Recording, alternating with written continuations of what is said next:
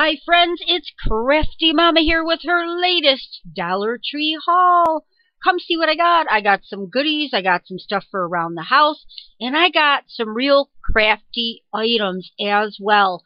First up, I decided to try this Calder's Gourmet Real Mayonnaise. Never tried this brand yet from the Dollar Tree. I'm going to check it out and see if it's any good. If anybody else has tried it, let me know. Then I got this this is really cool. This is Palmolive Soft Touch in its dishwashing soap. Look at the scent. Almond milk and blueberry scent. I love blueberries. This smells so good. I'm going to want to wash the dishes more. No, not. anyway, I also got these Sunbeam 2 frosted bulbs. They're 100 watts, supposed to last up to five times longer than ordinary bulbs. I still like the regular bulbs like these, and this is a great deal, a buck for two. Here I picked up the Alberto VO5 Volumizer Shampoo. It boosts and amplifies. It's got biotin and it's a 5 vitamin formula. Should be really good for my hair, make it look lovely. right. This is always a rebuy for me. I love Coffee Mate creamers in my coffee. So, and I use the containers, these ones for storage and to make stuff with. Then I got hungry and decided to pick up, I saw these planters, honey roasted peanuts, yum. I love peanuts, peanut butter, a lot of protein there. Now I did get this jar of Pampa decaf instant coffee.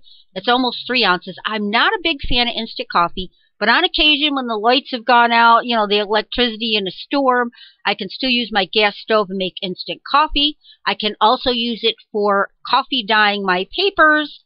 And the container is great for storage beads and things as well. A three for one deal.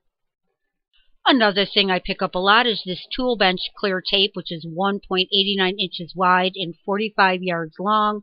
Great for sealing packages and doing some crafty things with too. The next thing that I picked up, and I know it's hard to see because it's black, is this Floral Garden metal wreath ring that's 14 inches round.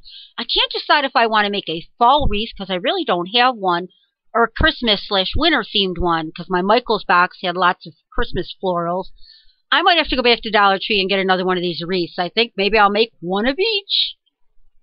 So along with the wreath, I also got the Floral Garden Floral Wire, which is 50 feet long. And it's just that really deep, like hunter green wire that you use with flowers if you want to kind of bunch them together or, you know, different things you can do with it. And I also got the floral tape. And this is 90 feet by a half inch wide, 90 feet long by half inch wide. I thought this would go good with my wreath to create that and maybe put some flowers in vases and stuff too. Now, the next items I got, I couldn't wait to get. I finally found these at my Dollar Tree. These are the LA Colors Loose Eyeshadow. It's the really shimmery, shiny ones. This one's called Sunshine. And I also managed to find this color, again, the loose eyeshadow. This one's called Lollipop. Makes me want to do sunshine, lollipop, and rainbows everywhere, but I know I'm not a singer. I'm being goofy. And the next one is this one, which is grape jelly. It's a deep purple. Now, the main reason I got them is not so much to use them for eyeshadow, but I saw a lot of good videos where I can make my own shimmer sprays and shimmer paste using this eyeshadow. And my Dollar Tree hasn't had it for a while. So I was really happy to find these three colors. It's the only three colors they had. I'm going to use them in my mixed media. And uh, I got a couple recipes off YouTube I'm going to be able to try now. The other thing that I got, and these were really neat. These are Wet and Wild glitter single eyeshadows. And they're really glittery. This one's called Spiked. And as you can see, spiked right there. And then I got another one, which is, again, Wet and Wild. It's a glitter single. And this one is like a bronzy color. It's called Brass. And what I'm going to do is the same thing with these. I'm not going to wear glitter eyeshadow. I wore it like one time way long ago and a piece of glitter got in my eye and that was not fun. But I'm going to make, see if I can make glitter sprays and glitter paste.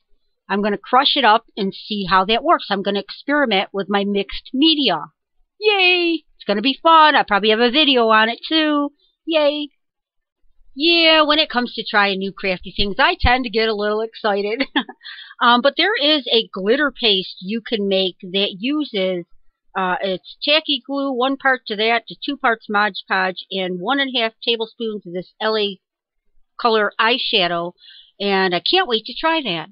Thanks so much for stopping by and watching Crafty Mama. Bye!